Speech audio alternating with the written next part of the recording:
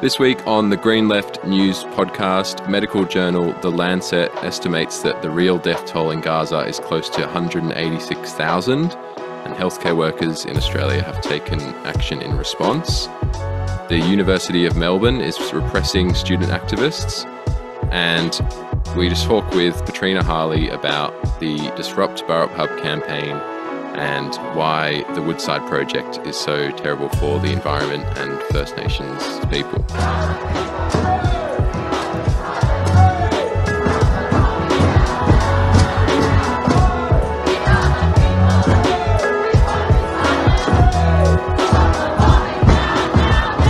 And welcome to the latest episode of the Green Left News podcast. I'm Isaac Nellist and I'm talking to you from Gadigal country in Sydney.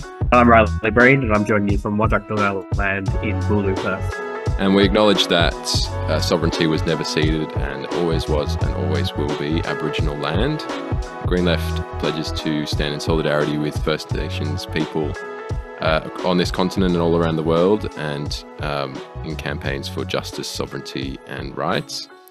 Now, I've got some really good uh, topics this week, uh, so stick around because we're talking to uh, Petrina Harley, who's from the Disrupt Burrup Hub campaign and has just done a really, uh, really staunch, really inspiring protest uh, lock on action. Um, so she's going to be talking about that.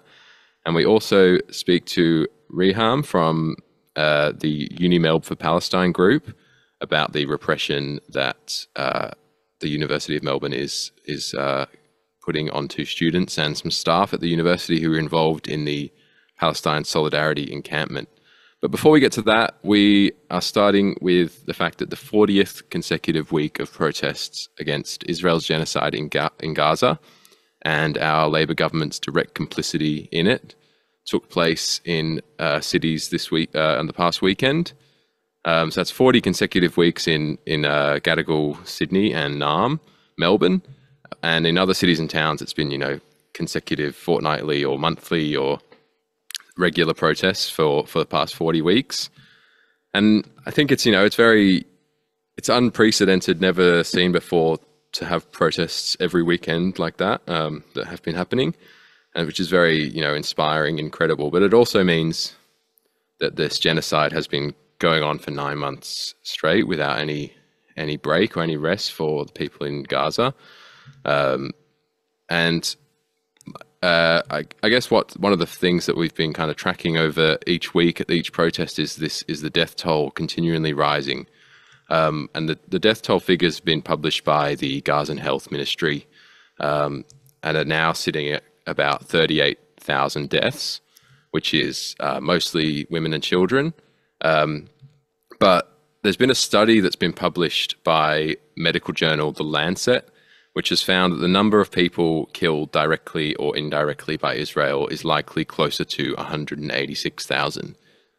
So this is partly because, you know, it's hard for the Gaza Health Ministry to actually keep track of the official count with, you know, the complete destruction of so much infrastructure in Gaza, um, the absolutely overwhelming uh, nature of the genocidal attack. Um, you know, it's hard to even, you know, count the bodies, let alone identify them, um, which is part of how they've been tracking uh, tracking the death toll. And at the same time, with this massive destruction, where, in February it was uh, estimated that 35% of buildings in Gaza had been destroyed, um, so it's probably even more than that by now. Um, there's an estimated 10,000 people still under the rubble. So, uh, pretty, pretty, pretty clear that the the actual kind of death toll and horror and destruction in Gaza is, you know, even worse than is currently known. And I think it's going to be a big, uh, you know, project once we have a ceasefire and once we have steps towards uh, justice and, and peace in, in Gaza and Palestine. Um, there'll be a reckoning of looking back and figuring out what the actual damage that has been done. Um, uh, throughout this period has been. Yeah, so I guess um, what what really jumps out with um, the Lancet report here is that you know you, you can count the official number of deaths, but it's it really fails to capture just the the scale of damage to to human beings that actually happened as a result on this. I mean, you, you know, it's not just the people who die direct as a direct impact from a bullet or you know a bomb, but it's actually the the long term effects of starvation, of organ damage, the inhalation of dust from rubble, the uh, women giving birth without anesthetic. It's you know, and medical uh, treatments. So the amount of people who have complications from birth, it's you know, it's all those things. The the inflammatory effects of acute stress that almost every single person in that region is going to be under. I mean, the like the all these things just actually compound the health effects in ways that you can't easily capture. I think um, the, that's what the Lancet's kind of drawing on in, and I think even the Lancet is going to be making a very conservative estimate for those numbers. So the uh, the real death toll, I think we're not probably not ever going to going to know for sure, but it's got to be so much more than what what we're actually counting. Yeah, it's important to keep in mind there's only like two million people in Gaza, so that's like close to ten percent of the population. Um, which you can only imagine. It's like two million, more than two million people in Australia dying. Um, I, I think how they've calculated it is looking at kind of recent uh, conflicts and, and other wars where the kind of indirect deaths that you were mentioning, so from, you know, lack of food and water, um, you know, diseases that spread when there's uh, all the healthcare infrastructure has been destroyed, um, and you know, uh, all the other things that you mentioned just then, um, it's usually uh, three to 15 times the number of direct deaths, which obviously from, you know, bombs and, and bullets and, and things like that. So they've they've put a conservative estimate of four uh, indirect deaths per one direct death, so which is on the lower end of the kind of recent uh, estimates to find to get to this 186,000 uh, uh, figure. So yeah, it's definitely um, you know it could be a lot worse is potentially. So we, we won't know the true effects. You know, and I think it's it's part of Israel's actual plan is to destroy all the health infrastructure and to um, at the same time uh, uh, kill journalists and stop people from getting a, a, real sense of what's happening on the ground, so that there can't be this accurate reporting. Um, so some people, you know, look at the look at the fact that it's from the the, the Gazan Health Ministry um, death toll figure isn't like you know uh, fully kind of like confirmed by all these other independent sources, but that's been a, a, a, purposeful decision by Israel to not let anyone else even get a chance to corroborate any of the data. So it will be something that will have to take place uh, uh, in the future. But um, I guess what's important as well uh, that we wanted to talk about this week is that the healthcare workers across, well, actually internationally, but particularly across this country, called a uh, National Day of Action on July 12 uh, which they called the Code Blue uh, National Day of Action. And the Code Blue is the kind of uh, hospital emergency code when someone's you know in a critical condition and needs uh, urgent help. So they're saying it's a Code Blue in Gaza.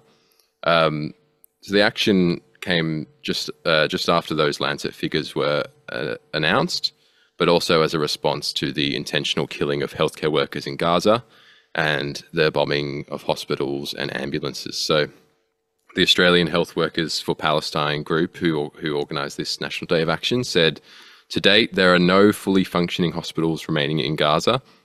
At least 541 healthcare workers have been killed, and 259 have been unlawfully detained by the Israeli military.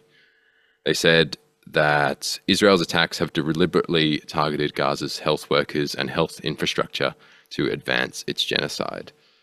So it's good. You know, healthcare workers have been speaking out and taking action um, for since the genocide began. Um, but it's good to see this this coordinated national uh, day of action. Uh, the the rally here in Gadigal Country, Sydney, um, was held at the 24/7 picket outside Anthony Albanese's office in Marrickville. Um, which, just as a side note, as we're recording, has been um, you know uh, one of the key organisers was arrested briefly, and the police are trying to clear out the the picket. Um, but at the, at the, time of recording, they're, they're they're holding out strong. They've moved back a few meters from from the actual entrance to the uh, office, but now on the footpath. So it's continuing. But we'll, I think we'll talk a bit more about that next week. Um, but at the Sydney vigil, psychiatric doctor Muntasser Mahmood said Our inherent responsibility to care for other people doesn't end when we clock off on our shift. Being a healthcare worker is not just a job, it is a devotion to humanity. So the Sydney Vigil was attended by more than 50 people and also heard from a nurse who had recently returned from a Palestinian Australia New Zealand uh, Medical Association aid mission to Gaza. So she spoke about uh, the realities on the ground. Yeah, and uh, healthcare workers in uh, Melbourne held a protest outside the University of Melbourne and the Royal Melbourne Hospital, uh, where disability workers, nurses, doctors, and medical students they all spoke in solidarity with healthcare, healthcare workers in Gaza who are risking their lives. Ola Aladasi, a medical scientist from Gaza, told the crowd of countless friends and family she has lost I was just working with them a few months ago, and now I'm seeing their lifeless bodies in video, which is just fucking heartbreaking. Um, most have most have been killed in front of the patients, she said, explaining how many healthcare workers stayed with their patients after Israeli soldiers demanded they leave the hospitals. The um and the the code blue action in Kaurna Adelaide, was held outside Foreign Affairs Minister Penny Wong's office. I, I saw at that uh, rally. Obviously, we're not in Adelaide, but they read out the names of all the 500 healthcare workers, 541 healthcare workers that were killed by Israel since October. If you look at the, if you calculate it, it's two healthcare workers killed every day. Um, so it's pretty horrifying. Pretty, you know, makes it pretty clear that it's targeted. There was also a similar action here in Perth where the uh, the same uh, names were read out by uh, many healthcare workers there as well as uh, a few speeches from. Um, uh, there was a speech from a, a Royal Perth doctor, and uh, I actually don't have the details of the other speakers. Um, and there were also similar protests at Garramilla, Darwin, and at Mparntwe, Alice Springs, and uh, similar healthcare similar vigils were held by healthcare workers around the world. Yeah, and you can definitely find a lot of the photos and details from the various vigils that were held across the country um, on the Healthcare Workers for Palestine Instagram page. Um, and I think there's also kind of state-based, like Healthcare Workers for Palestine, New South Wales, etc., etc. Um, so you can check out uh, some of that detail. And if if you're a healthcare worker and you want to get involved, definitely um, do so. I think it's it's a it's it's great to see you know people from all these different uh, fields and different facets of life um, getting involved in solidarity with Palestine. And I think you know as as that psychiatric psychiatric doctor we uh, mentioned earlier said, it's like as a healthcare worker, it's your actual you know responsibility is caring for people and um, and looking after others, and that extends beyond just the workplace into and it should you know be part of uh, kind of day to day life and extend also beyond borders to to helping people who are trapped in one of the worst um, you know genocides we've seen uh, definitely yeah. in our lifetimes. I mean, uh, doctors so often they um you know I've, I've, I've experienced this myself. They only they only see you know person at a time in a room and they treat problems very individually. But um you know you can actually stop problems from happening in the first place. You, can imagine just how much um, acute trauma and stress is happening in Gaza right now, and how many people are going to have long term psychiatric illness because of that. and yeah, that's on top of all the you know horrific deaths and illnesses that are, are going to be happening, and all of it is entirely preventable. so you know you could consider it preventative medicine. Yeah, hundred percent.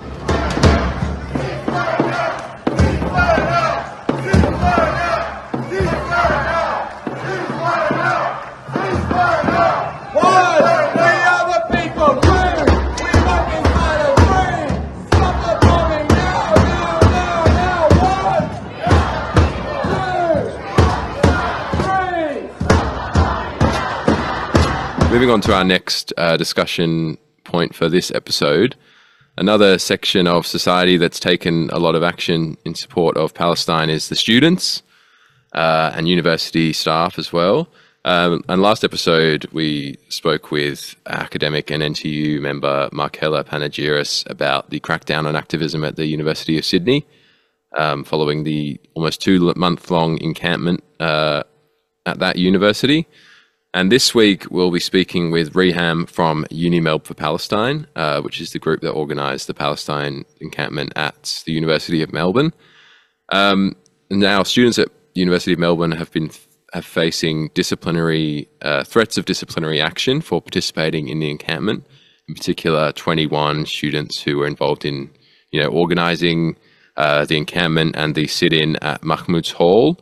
Um, so we're excited to talk to Reham about that and about uh, what's come out now is that the students were being surveilled by the university as well. So we're uh, looking forward to hearing about that and how students are resisting. So I guess um, first of all, for people who I guess haven't been following the story as as closely, um, and we've been reporting on the Unimelb uh, encampment as well as all the other ones around the country.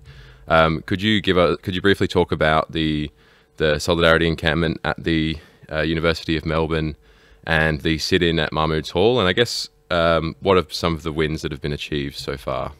Yeah. So we started the Solidarity encampment on the 25th of April. So that was set up on South Lawn. Um, and that was sort of in place for about three weeks. And in that three weeks, we saw like a huge amount of growth, of support. Um, community really got behind us in that time. We had teach-ins and food being brought by community. Like it was a really beautiful activist space. Um, and I guess the goal of the encampment was to pressure the university to cut their ties with weapons manufacturers, um, particularly those that were involved in the genocide in Gaza.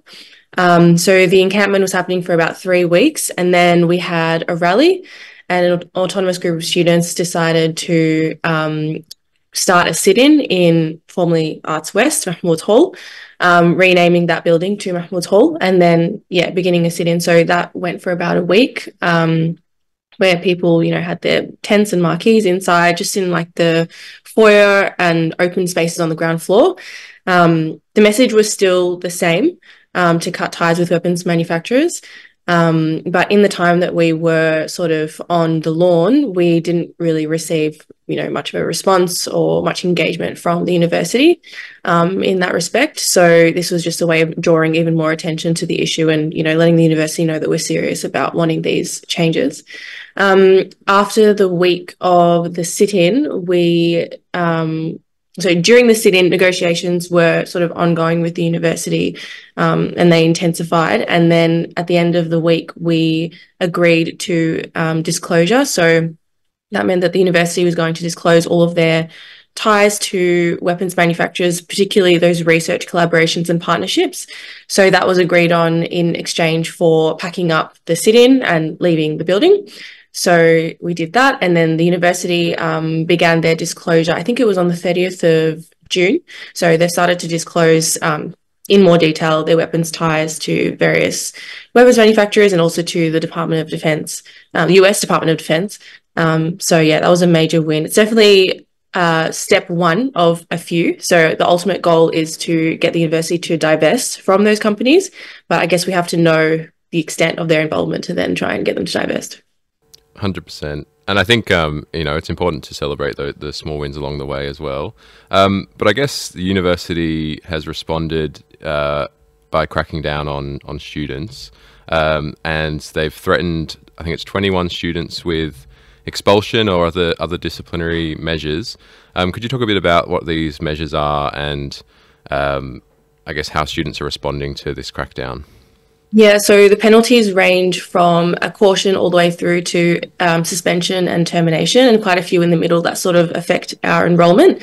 So, yeah, it was 21 students. Um, we're quite surprised about how heavy handed the university has been, um, particularly since we were in ongoing negotiations, you know, in good faith with the university. We came to that agreement, it was a mutual agreement. So, we're surprised that the university, I guess they're trying to it seems like they're using these misconduct notices to punish the students for um, getting the university to agree to the disclosure, which is quite a strange thing to do, in my opinion. Mm. Um, and yeah, there are only about 21 students that were issued the misconduct notices, but I, think at any one time in the building, there were probably between 70 to 100 people.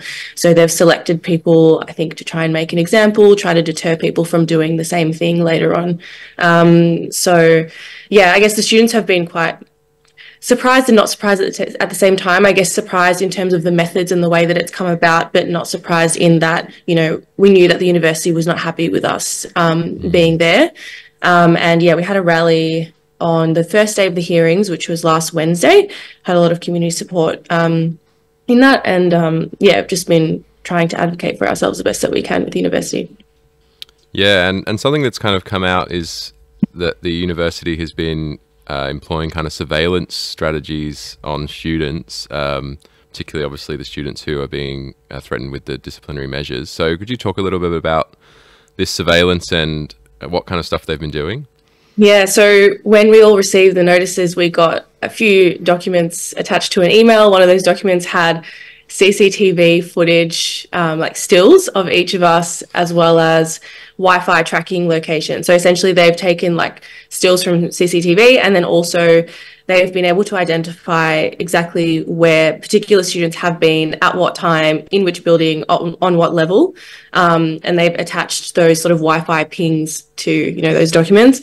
Um, so yeah, we were really surprised that they sort of took those measures to identify particular students. Um, there were security guards at the entrances of the building for a period of time that were taking people's identification. So the security guards already had identification of people that had willingly given their details, but the university mm. chose to, you know, use these like tracking and surveillance methods to find particular students. Um, and yeah, I guess it's pretty shocking as well because in 2016, the university, when they adopted their new um, Wi Fi network, they said basically we're just using this Wi Fi to identify dots on a page and just to identify like traffic throughout the university. But, you know, we're not breaching privacy because we can't identify the students. Um, but obviously, the university has lied. So you can see um, the location is directly attached to like a student ID that has been then used to identify a student. So yeah, that's been pretty pretty shocking. We didn't expect the university to go to those lengths, but um, mm. they have, and it's opened up a whole new conversation about you know the way universities are using student data. Um, people are really hesitant to. I know I'm really hesitant to um, connect to the university Wi-Fi, and mm. you know I'm just very cautious now when I'm on campus. Um, so yeah, it's been pretty surprising actually. Yeah, and I, have seen some comparisons drawn, uh, obviously not to the same scale, but like the surveillance of, of Palestinians in Gaza and the West Bank, and now surveillance being employed on students at Australian universities is, is pretty chilling. Yeah, um, we have um, one of our one of the students who's receiving misconduct. She's actually from Palestine, and she, you know, had a really hard time like grappling with that because you know she'd left Palestine, come here to study, she'd left a you know highly surveilled um, occupation state and now she's come here and sh- the same sort of technologies are being used on her when she's protesting to try and you know um, get the university to divest from those companies that are being you know that are um, involved in the killing of her own people. Um, so that was quite difficult for her to to get her head around. And also you know we don't know what the t- what technology is being used, like which companies are being used. Um, it would be pretty ironic if those companies were the same companies we're trying to get them to divest from, but we don't know exactly which which tech's being used. Yeah, I wouldn't wouldn't be surprised. Um, I guess this is kind of all taking place in a bit of a broader context of, I guess, anti-protest laws. There's a few other universities that are also cracking down on activism. Um, um, last week on the podcast, we were talking about the the campus access policy at USyd, which is basically um, making people have to ask permission to even like hold a megaphone or put up posters and hold protests and things like that on campus. And they've explicitly banned kind of occupations and sit-ins.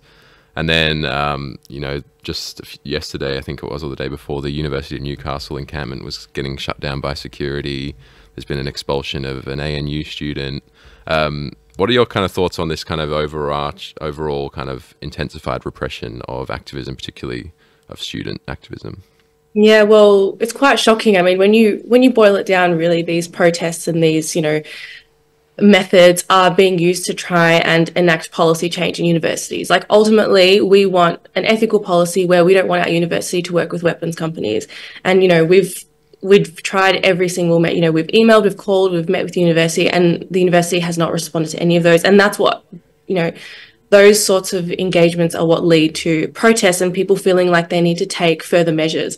So I guess I would put questions to universities like if students, you know, are genuinely unhappy with a policy that a university have and they have taken all of these measures to communicate this to the university and the university still ignores them, what do they expect students to do? And now they've put on, you know, there are repression, um, sort of, there are laws to try and get students to have to ask for permission to do protests and things like that. What does that say about like freedom of expression, freedom of assembly, and that sort of thing? So I guess the university, universities in general, are creating absolutely no space for robust dialogue and conversation about these policies.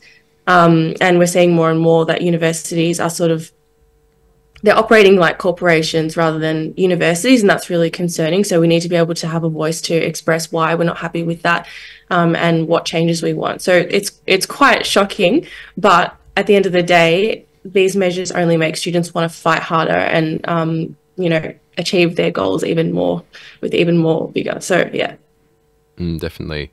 Um, well, just uh, as you mentioned earlier, there was a, a protest last week in support of uh, you know, against this repression of students and in support of the 21 students who are being having the disciplinary hearing.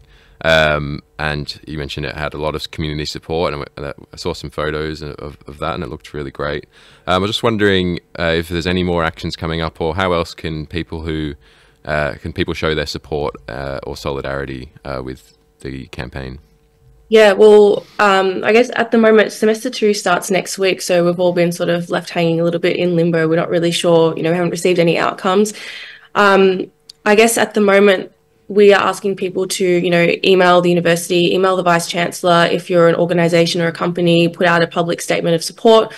Um, you know, we're in a position where we can't really do much until we find out the outcomes. But yeah, I would say public expressions of support, contacting the university. If you're alum, if you're an alum, alumni, um, you know, you've got a lot of weight in what you're saying to the university. Um, if you're a donor of the university as well. Um, so yeah, just to demand that the university drops these uh, misconduct allegations.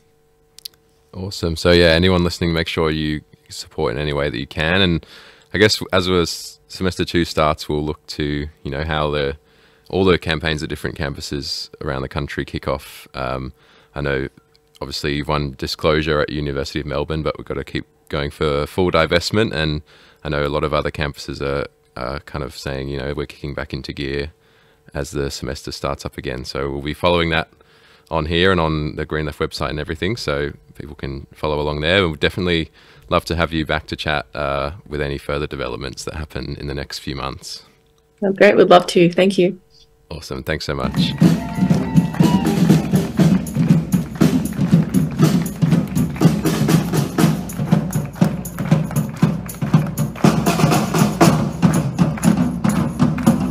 We're joined now by Petrina Harley, who's a member of Disrupt Burrup Hub and Socialist Alliance. but We're going to talk to her a bit about uh, a recent action. Yeah, so Petrina, that was you know a pretty uh, awesome looking protest um, that you took part in in the part over the past week against the Burrup Hub project. Um, but I guess before we get to that, could you give us a bit of a uh, a background on what is this uh, what is this Burrup Hub project and um, uh, Woodside, who's the company who are behind it, and why uh, campaigners opposing it? Um, you know, what's what's so bad about uh, the Burrup Hub project? Yeah, sure. Um, so the Burrup Hub project is probably Australia's biggest uh, polluting fossil fuel project um, to date. It's a series of um, what they do is they break it down into kind of tiny little sections so it doesn't seem as bad. But ultimately, there is um, industrialize, sorry, industrialization of the hub going on, which involves so there's a, a fertilizer plant there already. Um, Perdaman are now building a second one. There's um, a Karratha gas plant. There's Scarborough gas plant. The Scarborough gas is now uh, expanding to twice its size. Um, there are two offshore platforms. So there's a massive, they found a massive gas seam off the coast. Um, so they've, they're building two gas platforms there. Um, and ultimately, we went up there. So this is actually the second time I've done a similar, very similar protest. First time I went up was when the um, investment for, for Scarborough Gas had been agreed on and run ahead. Since then, it's been what three years. Um, now Browse Basin is kind of like the last um, fourth piece of the puzzle, if you like, um, which hasn't got all its approvals yet. So there's still a chance we could stop that one. And this one's really important because basically this um, second platform will, will provide the extra gas needed to feed all the other kind of industrialisation going on. Um, and even worse, so the, fracking companies now up north as far as Broome are uh, talking about fracking there. And obviously, if they get all their approvals, then Scarborough Gas is, um, or the Burrup Hub project in that Browse Basin are going to be taking their gas as well. So we're looking at, um, you know, hundreds of kilometres of pipeline from Broome to Karratha, and then from Karratha offshore, like 400 kilometres. Going through um, Scott's Reef, which is a migratory path for whales, endangered species of turtle. Um, the total emissions, if all this goes ahead, we're looking at 6 billion tonnes of uh, toxic CO2 into the atmosphere over the next 50 years. They're asking the government to extend their license for 50 years. Um, and of course, we've also got ancient Murujuga rock art up there. We're talking 50,000 years of, of, you know, rock painting. And um, yeah, Perdaman already are basically just digging it up, moving it, they say safely. But of course, you know, breaking the song lines, um, culture, people, people are um, devastated. And yeah, the whole thing is just horrific. Has to be stopped. Yeah, it uh, sounds pretty awful, and you know, as you mentioned, it's not just the climate uh, crisis aspect that's contributing to yeah the destruction of you know some of the oldest art in the world that we've yeah, got. It's absolutely. And you think anywhere else in the world, right? I mean, this this rock art is older than the pyramids. It's older than Stonehenge. Like any other country would be, you know, making it national heritage, sealing it off, protecting it, and yeah, Australia, there's gas to be had. Let's dig it up. You know, I mean, the the outrage that um, recently got poured out when some protesters, you know, kind of spread some corn, cold cornstarch on Stonehenge. Yeah. the comparison you make a comparison there between the actual legitimate destruction of of uh, like sacred art and you know what is just a, a washable yeah absolutely well that was um DBH's first um first action you like was when um someone went to the art gallery and spray painted the Woodside logo across an iconic um, painting. Course, didn't damage the painting, it was just the covered glass and stuff. Trying to make that connection. But we get outraged about, you know, some painting that's 200 years old and it's completely protected and hasn't been harmed with, yeah, this this this amazing, in, incredible rock art. That's, yeah. Mm, yeah, hundred percent. And I, I guess um, so. For people who who don't know, you uh, went up to the kind of the ma- the one road that goes into the Burrup Hub project and uh, locked on to think it was a, a truck or an SUV and uh, blocked the road. So could you tell us a little bit more about uh, the action and I guess also what else has um, Disrupt Burrup Hub been up to uh, over the past few years? Yeah, for sure. So um, Disrupt Burrup Hub has only been around uh, not even two years yet. Um, so this action, what we did is we um, took a boat, a, a, car and a boat so that we could get across both lanes. Um, we had a concrete barrel on the on the back of the the car, and then I was in the boat with my arm encasing a concrete barrel that we actually we cut a hole through the um, boat so we could set the concrete barrel onto the road so they could just shift the whole boat off the road. Um, and yeah, they locked on there for 12 hours. I got tried to get through this, this barrel. Shout out to the, the builds, builders of this barrel. It was, uh, yeah, it was pretty satisfying lying there while they tried to get into it. um, as I said, this is actually the, the second time I've done something. Last time we did it in a caravan. Um, and um, yeah, so so the idea behind that is obviously to um, we did it at kind of shift change to, to stop the workers from, from going in. Um, So DBH is kind of, you know, two prongs, twofold. It's to break the social license of Woodside and those companies because, especially in WA, you know, our state is completely captured by the fossil fuel industry. Um, Woodside kind of play like, you know, we're the nice guys, we provide all this money and jobs and economic growth. And, and so then they they sponsor, you know, all the arts and all the sports to make it look like, you know, they're, they're giving back to society. Um, so early actions of DBH were things like, um, well, that first action, like I said, that's to make the connection between the, the rock art that was like really clever. Um, then we've done things like, uh, so Dockers, the, you know, Freo um, football team are sponsored by Woodside. So one action um, member you know, got onto the field with a big flag and got down. Um, we've done things like, you know, sit-ins at, at ministers' offices, um, rallies at Woodside. Recently, um, Emma, who uh, she was the one locked on to the car, she and a couple of others um, got into the AGM meeting and, you know, made big fuss. Um, so, yeah, it's all about changing that social license, making people realise, you know, how much damage they are doing to the state and, and how much resources and stuff they are taking.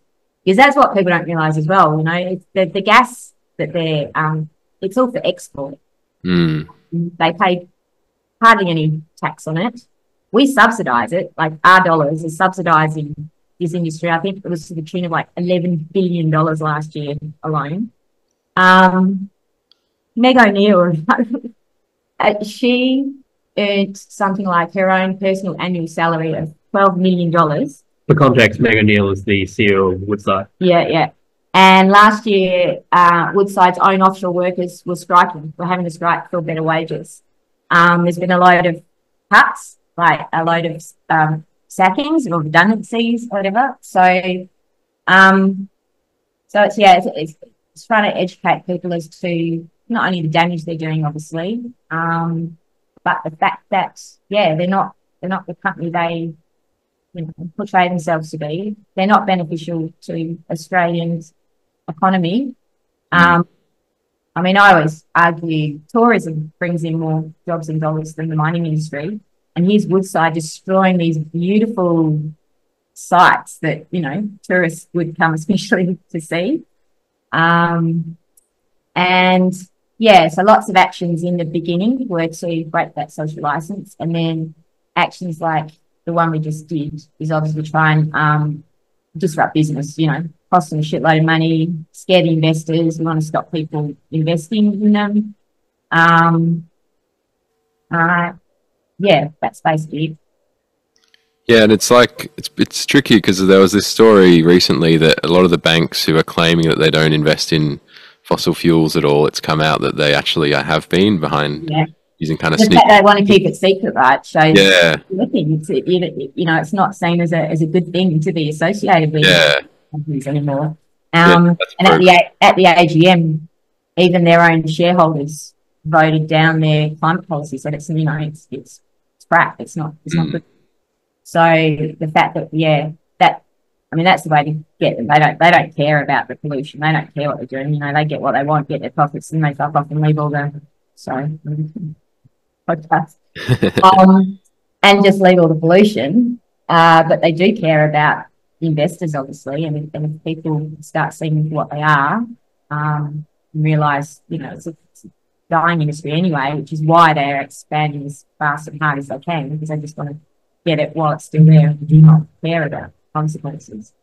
Um, so yeah, it, it's trying to um, make the investors and the shareholders uneasy and um, stop people investing in them and to cost them money. So it, it becomes difficult for them to maintain the business as usual.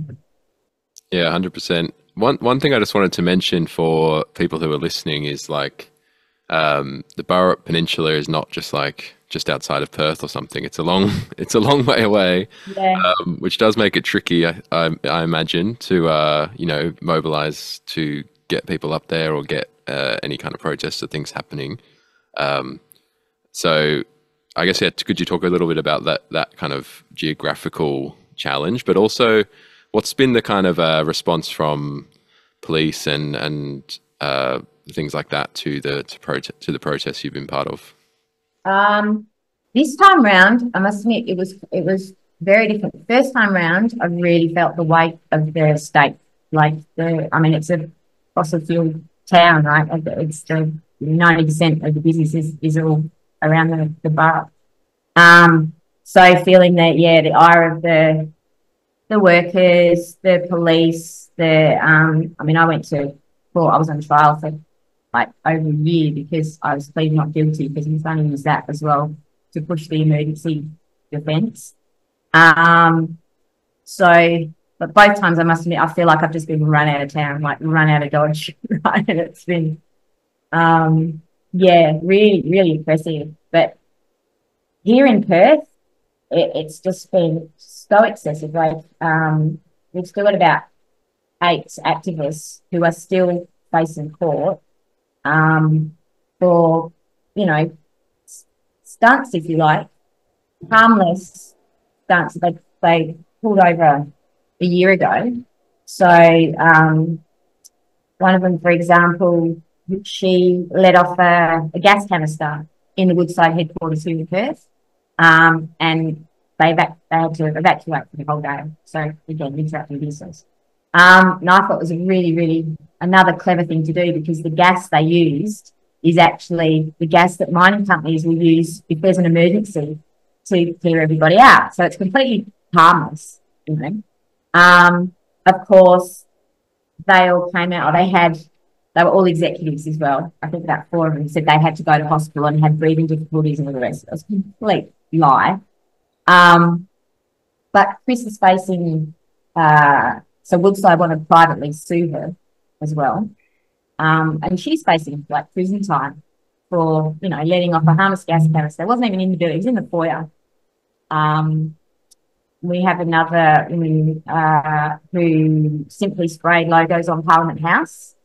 Um, but what the police have been doing is um, is trying to get everyone on conspiracy charges. Seriously trying to, you know, break DBH down so that we're all left in court or bankrupt or um and what they do is, you know, they've been seizing devices, seizing laptops, seizing phones, and like if there's one message between one person and another, someone well, quite a few people have been are now facing charges for actions that they weren't even at. Like wow. Yeah. Um, so that whole I don't know if you guys over there heard about the Four Corners program. Mm, yeah, yeah. Yeah, where a couple of our activists, again, they went to the CEO's house, private residence, with a net lock. They were literally going to um, lock themselves to her front gate and paint slogans on the gate. Um, for that, they literally had the SWAT team, specialised police force, waiting overnight for them because they got wind of it. Because we allowed a Four Corners team to come in, they were like, yeah, yeah we, we want to, you know, show show the activist scene, show what's going on, and um, ultimately they were forced to hand over footage to the police. Mm. Um, so yeah, we're really dirty at the agency because yeah, they just basically betrayed their sources, and because of that, the footage that they were given, I think three people, three more people got arrested for that action. Um, and then of course it's all you know blown up in the press. This is someone's private residence. How dare they? Threatened her life. You know, Meg O'Neill came out, you know, I felt threatened and my children felt threatened. Now, her children are adults. um, these are the same children that um, Emma and, and Tom, those young 17 um, year olds, called out in the AGM.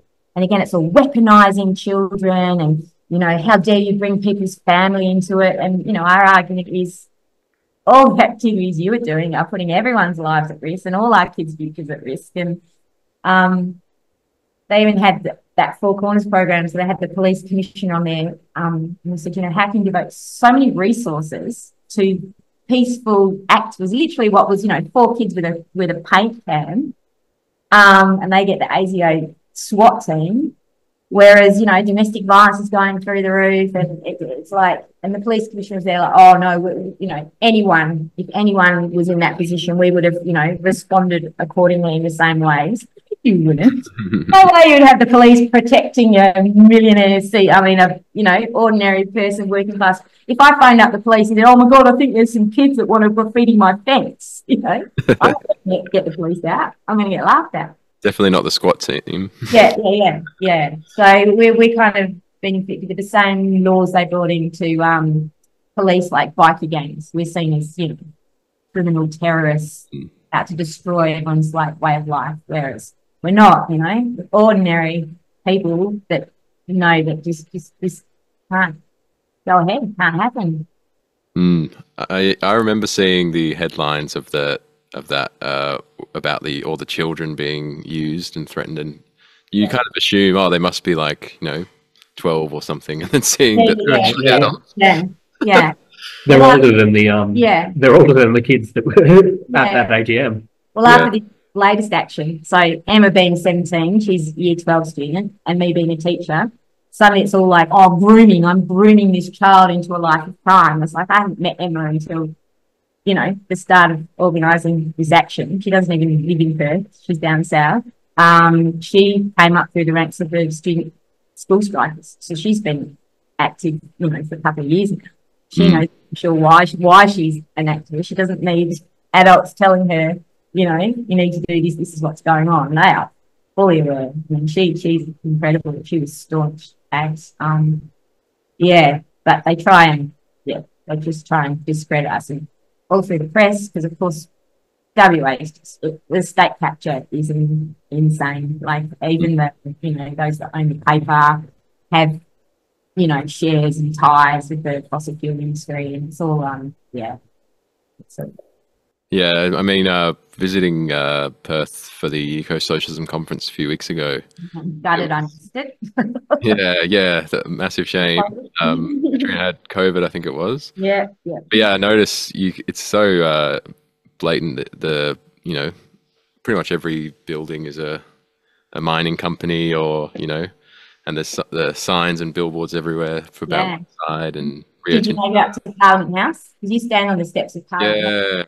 And yeah, all laid out in front of Parliament House, almost around. You've got you've got Woodside, you've got Rio Tinto, you've got you know all the banks. It's yeah, it's, yeah, it's pretty pretty blatant. Um, I guess uh, you know, I think the climate movement in Australia was probably at its peak in like 2019 when there was those massive school strikes and um, a lot of activity, and it was kind of uh, cut off a bit by the pandemic and lockdowns, and that uh, killed a bit of the momentum. And obviously, trying to build back up to having a big climate movement. Um, and obviously, I mean, the last uh, nine months has been so uh, heavy with the Palestine uh, activity, so that's also taken up a lot of the space. But uh, I think you know what what do you kind of see as the role of like these these great kind of disruptive actions and direct actions that uh, disrupt Burrup Hub are taking and building kind of a, a bigger mass climate movement at the same time. What's the Yeah, kind of relationship? yeah, pretty much like our our um socialist ideals. It's it's building that mass movement, that mass consciousness, and as you say, because of the distance, it is very very difficult. But um, you know, we would love to see. Uh, there was a similar. So James Price Point is a place that's um, up near Broome as well, and they had a similar campaign, although they managed to have an encampment up there, like with rolling, you know, lock-ons daily. Uh, I think it went on for about six months. Uh, again, that was Woodside, and they won that campaign. So this this is our this is our aim is to get the numbers um, and the resources to allow people to, yeah, devote enough time that they can just we can just camp up there, you know, closer because as you say, getting to and from and giving jobs and it's it's it's really difficult. So we do, you know, these little actions here again to try and inspire and build build numbers. Um, we have like public meetings and NVDA training days and things like that. Um, and then actions like these obviously inspire a whole new new set of people. Um, but it's it's a big dilemma because because of security, because you have to um, be so secret about it. it's hard to to build. Like you, you know, you've been bringing new people, but you still you still end up with a kind of a core group, core leadership group, if you like, that are, are making the decisions on what actions we do and the rest of it. Ideally, you know, we like to make a lot more democratic, where we can, um, as a result of these public meetings, people themselves can come up with actions and ideas and and build things like all over the place. So we've got, you know, multiple layers and, and multiple people, but it's um yeah, it's that's what's proving difficult at the moment. It's, it's how do we keep things secret from the state while bringing in, you know, all these new people. Hundred percent. Um, I think that's all the kind of questions I had. I don't know if you have anything else, Riley, but yeah, thanks so much for joining us, Petrina. It's been really, you know, inspiring and good to hear about the, you know, what's going on out west for me, uh, and also just, you know, uh, we'll definitely be following the whatever other activities that uh, you and Disrupt Burrup Hub get up to over the next uh, little while. So you're welcome back on the podcast anytime to talk about that. um, I'll just point people as well if they're interested in this kind of uh, discussion. Uh, we've got uh, one of the sessions at Ecosocialism uh, featured uh, Raelene Cooper, who is from the Save Our founder of Save Our Songlines, and talked uh, a lot about this um, campaign from a kind of First Nations perspective as well. Um, so definitely check that out on the podcast feed or on YouTube as well. Um, but yeah, uh, thanks so much, Petrina. Can I also give DBH a plug? Say people um, go to our website, just Disrupt Burrup Hub, and there are ways you can join and get involved. And it doesn't necessarily involve having to get arrested The luggage yeah. carcass up 16 hours or towing a one ton barrel on the back of a boat. yeah. and we'll yeah. we'll put a link to yeah, we'll put a link to the website in the description as well so people can click through on there. So that, that'll be good. Yeah. And that's about all we've got time for for this episode of the Green Left News podcast. Uh, before we go, we've just got a few events uh, coming up that we'd like to plug. If you're in New South Wales, there's a protest outside the New South Wales uh, Labor Conference, which is on the 27th of July at Sydney Town Hall. Um, so it'll be attended by both Anthony Albanese and the New South Wales Premier Chris Minns. Um, and you know, it's an important chance to send a direct message to the Labor Party that we don't stand for their, that we don't support their um, support for Israel and what they're doing in Gaza. Um, so there's a protest at 12 p.m. Um, around uh, you know Labor's support for the genocide, but there's also other protests throughout the day around housing, um, uh, climate, and a few other issues. So uh, check out the Green Left calendar for that. And uh, here in Boorloo Perth, uh, we've got the upcoming Indian Ocean Defence and Security Conference, which is a major getting together of all the uh, peddlers of weapons and death in uh, across the country. builders where AUKUS meets the Quad. So there'll be a um, opening rally at the convention centre outside protesting that uh, starting at 7.30 a.m. quite early um, on Wednesday, the 24th of July. And there'll also be plenty of um, the, the protests throughout the, the three-day conference. And obviously make sure you get to your weekend Palestine rallies, whether they're happening weekly or fortnightly or monthly or whatever uh, in your city. Um, and all the other actions that are happening. You can go to the Green Left calendar, greenleft.org.au slash events to find stuff happening near you. Um, just a, a, big thanks to Sean Valenzuela or at Little Archer Beats for the music uh, that you've heard on this podcast. Um, if you'd like to support the work that we do, um, you can become a Green Left supporter at greenleft.org.au slash support.